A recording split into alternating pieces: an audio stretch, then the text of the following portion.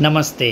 मेरा नाम डॉक्टर प्रीतम जैन है और मैं एक कैंसर स्पेशलिस्ट मेडिकल ऑन्कोलॉजिस्ट हूँ, जो मुंबई में प्रैक्टिस करता हूँ। मैंने एमडी इन इंटरनल मेडिसिन की है, उसके बाद TM super speciality medical oncology में की है। इस वक्त मैं मुंबई के टॉप हॉस्पिटल्स जैसे Saifi hospital Breach Candy hospital Bombay hospital बुखार हॉस्पिटल भाटिया हॉस्पिटल मैं ये हॉस्पिटल्स में इस वक्त कैंसर पेशेंट्स का ट्रीटमेंट करता हूँ। आज मैं आपको कोलोन कैंसर के बारे में कुछ बताना चाहूँगा। कोलोन कोलोन मतलब इंटेस्टाइन्स और इंटेस्टाइन्स जो हम हिंदी में आतड़ी, जो आतो के बारे में कहते हैं। जनरली अगर कैंसर कोलोन से आता है या इंटेस्टाइन्स का कोई भी हिस्सा, जैसे कि कोलोन रेक्टम असेंडिंग कोलोन हो या डिसेंडिंग कोलोन हो, इन किसी भी इंटेस्टाइन्स के में से जब एक कैंसर उत्पन्न होता है, उसको हम कोलोन कैंसर कहते हैं। ये कैंसर एक जानलेवा होता है और हमें ये ज़रूरी है हमारे लिए कि ये कैंसर के सिम्टम्स क्या क्या होता है और कब आपको ये वार्निंग साइंस देती है और आपको इमीडिएटली आपके कैंसर स्पेशलिस्ट के पास जाके इसके इन्वेस्टिगेट करना चाहिए।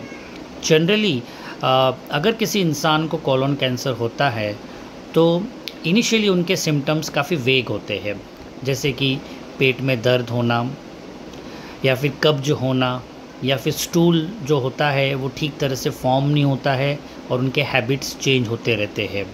कभी कब्ज होता है, कभी डायरिया लूज मोशंस होता है। तो जब आपको लगता है कि आपके बवल के हैबिट्स जो आतड़ी के हैबिट्स बदल चुके हैं तो आपको ये एक वार्निंग साइन हो सकता है और आपको कोलोन कैंसर के लिए स्क्रीन करना ज़रूरी है इसके लिए। इसके अलावा अगर आपको कभी भी ब्लीडिंग होती है रेक्टम से एनी ब्लीडिंग कोई भी किसी भी प्रकार का ब्लीडिंग होता है जहाँ नीचे से खून निकलता है जब आप बाथरूम जाते हो तो आपको उस वक्त आ, बहुत ही ध्यान रखना है कि ये एक एबनॉर्मल चीज़ है ये एक वार्निंग साइन है और आपको इंटेस्टाइंस कोलॉन के अंदर गांठ हो सकती है जिसके थ्रू वो ब्लीडिंग हो रहा है। कई बार पेशेंट्स को ज़्यादा सिम्टम्स होते नहीं हैं बस हल्का सा बॉल हैबिट्स चेंज होते रहते हैं लेकिन उनका हीमोग्लोबिन ड्रॉप होते रहता है क्योंकि वो नीचे से ब्लीडिंग हो रही हैं और ज़रूरी नहीं कि वो ब्लीडिंग हर बार दिखे आपको। तो अगर आपको आ, आपका खून कम होते जा रहा है और कोई दूसरा कारण नहीं मिल रहा है या आपको आयरन की कमी है तो शायद आपके आतड़ी के अंदर है ना खून बह सकता है और आपको कोलोन कैंसर हो सकता है इसमें। इसके अलावा सबसे कॉमन हम देखे जाते हैं कि उनका वज़न कंटिन्यूसली कम होते रहता है। भूख नहीं लगती है, थकान लगती है। ये सारी चीज़ें भी सिम्टम्स साथ में आने शुरू हो जाते हैं। अगर आपका वेट लॉस सिग्निफिकेंट है सिग्निफिकेंट वेट लॉस मतलब अगर आपका 10 परसेंट से वेट घटा है बेस लाइन से तो आपको इमीडिएटली चौकन्ना रहना है और आपको कोलोन कैंसर के लिए यू नो इन्वेस्टिगेट करवाना चाहिए। तो ये सारे जनरल सिम्टम्स होते हैं। अर्ली स्टेज में शायद कोई सिम्टम ना हो और कई बार इंसिडेंटली डिटेक्ट होता है। आ, किसी और वजह से शायद आपने कोलोनोस्कोपी की होगी और वहाँ पे वो आपका यू नो पॉलिप या कैंसरस ट्यूमर डिटेक्ट होता है।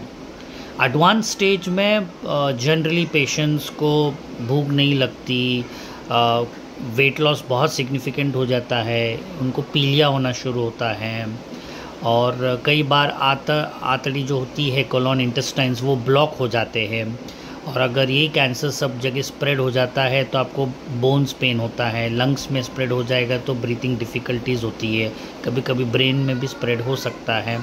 तो ये सारे एडवांस्ड फीचर्स है और आपको ये सारे वार्निंग साइंस जानकारी लेने ज़रूरी है। क्योंकि अगर आप कोलोन कैंसर को स्टार्टिंग स्टेज में डिटेक्ट कर दोगे तो ये क्योर भी हो सकता है। इसके लिए आपको एक इंपॉर्टेंट इन्वेस्टिगेशंस करना पड़ता है, जो हम कोलोनोस्कोपी के नाम से जानते हैं। जनरली अगर आपके पर्सनल रिस्क फैक्टर्स है, या आपके फैमिली में हिस्ट्री है कोलोन कैंसर की या आपके यू नो बॉल हैबिट्स ठीक तरह से नहीं है तो आपको कोलोनोस्कोपी स्क्रीनिंग ज़रूर करनी है। नॉर्मली 50 साल की उम्र और अब एंड अबोव उनको कोलोनोस्कोपी स्क्रीनिंग गाइडलाइंस के में माध्यम में आ, उनको किया जाता है। जनरली हर तीन साल से पाँच साल में एक बार कोलोनोस्कोपी करना चाहिए। और अगर आपके सिम्टम्स कम नहीं हो रहे हैं तो आपको इमीडिएटली करना चाहिए। इसके अलावा सिग्मोडोस्कोपी भी होता है सीटी स्कैन भी हम करते हैं, और आपके स्टूल का टेस्ट भी होता है। तो ये सब कोलोन कैंसर के बारे में मैं आपको बता रहा हूँ। प्लीज़ जानिएगा कि अगर आपको पेट में दर्द है, आपको कब्ज है, आपको ब्लीडिंग हो रही है वेट लॉस हो रहा है, आपकी उम्र 50 साल की उम्र और अधिक है तो आपको कोलोन कैंसर के बारे में अलर्ट होना है, क्योंकि ये अगर अर्ली स्टेज में डायग्नोस होगा तो आप इसको क्योर कर सकते हैं। धन्यवाद।